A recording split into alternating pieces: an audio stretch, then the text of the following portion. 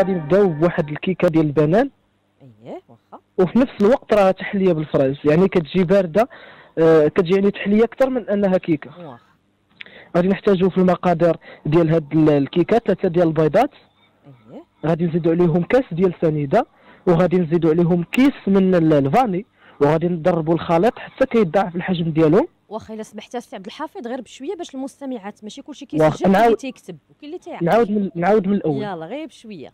واخا غادي نديرو في الم... غادي نحتاجو في المقادير ثلاثة ديال البيضات. غادي ندربوهم مع كاس ديال سكر سنيدة. وغادي نزيدو كيس من الفاني. غادي نطربوا الخليط مزيان مزيان حتى كيضاعف الحجم ديالو. من بعد غادي نزيدو كاس ديال الحليب وكاس ديال الزيت. دائما القياس بكأس العنبة. غادي نخلطو مزيان ومن بعد غادي ناخدو ثلاثة ديال الكيسان ديال الطحين وجوج أكياس ديال الخميرة ديال الحلويات. ما يعادل 16 غرام غادي نخلطو يعني كل شيء غادي نخلطوه مزيان ومن بعد غادي ناخدو واحد المول غادي ندهنوه بالزيت وغادي نرشو عليه الدقيق. وغادي نفرغوا داك الخليط. من بعد كناخدو ثلاثة ديال البنانات كنقطعوهم قطع صغار وتنديروهم فوق داك الخليط. وعاد كندخلوه للفران على عافية مهيلة من التحت. لمده ديال 35 دقيقة حتى ل 40 دقيقة من بعد ما كنشوفوه راه طاب يعني وطاب وتنفخ كنشعلوا عليه الفوق يتحمر من الفوق. وتنخرجوه من الفران.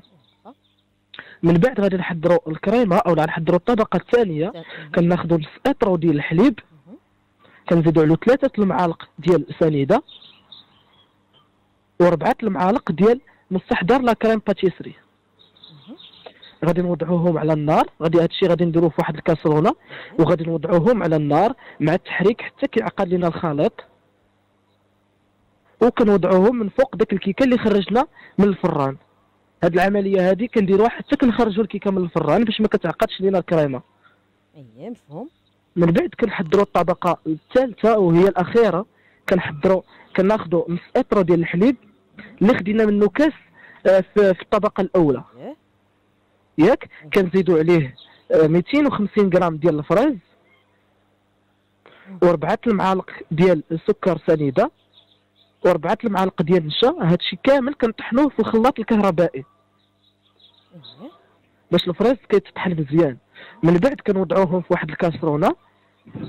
وتنوضعوها فوق النار حتى كتعقد ديك الكريمة مزيان. وتنوضعوها فوق الطبقة آه، التالية من بعد ما كتكون جمدات تماما. وكنخليوها حتى آه، كتجمد. مهم. والتزيين راه تيكون اختياري تقدروا أنكم ديروا غير الفريز تقسموه وتزوقوا به ال- الوجه ديال الكيكة. أييه فعلا. وكتجي. كتجي لذيذة بزاف بزاف.